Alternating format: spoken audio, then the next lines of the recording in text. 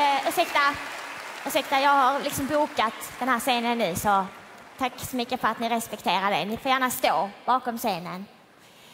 Hallå Göteborg! Hur är fiskeläget? Wow! Är ni goa eller? Avenyn, Enna, la, la, la, la, la, bamba. Alltså det är så lätt att prata göteborgska. Eh, hej, hej, hej. Eh, jag heter Filippa Bark och jag kommer att prata med er nu.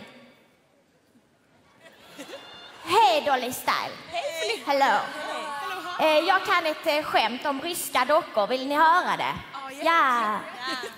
Eh, I don't like Russian dolls. They are so full of themselves. det tyckte jag var kul. Det var en trevlig pratstund. Jag får tacka och docka. Ja, men vi är väl i Göteborg, Göteborg. Ja, jag menar det. Nu ska det bli lite allvar. Daniel, du har skrivit en låt som heter Pappa som handlar om en skilsmässa. Och det är lätt hänt att barnet tar på sig skulden när föräldrarna går skilda vägar. Men Daniel, det är inte ditt fel. Daniel, det är inte ditt fel. Daniel, lyssna. It's not your fault. Nej, nej, du måste lyssna. Det är inte ditt fel. Det är inte ditt fel. It's not your fault.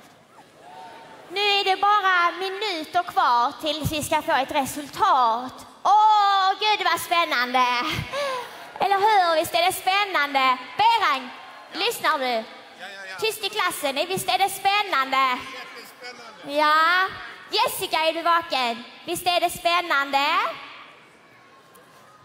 Det är inte ditt fel. Det är jättespännande, men det är, men det är inte lika spännande som i Hunger Games. För där dör man om man förlorar.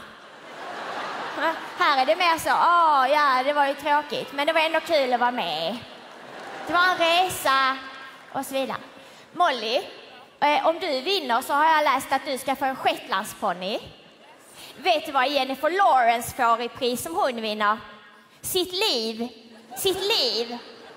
Det är ju lite mer spännande. Men det här är också spännande. Det är absolut spännande. Eller hur Robin och Sanna? Väldigt spännande. Ja. Väldigt spännande. Tack så mycket Filippa. Ge henne en stor varm applåd.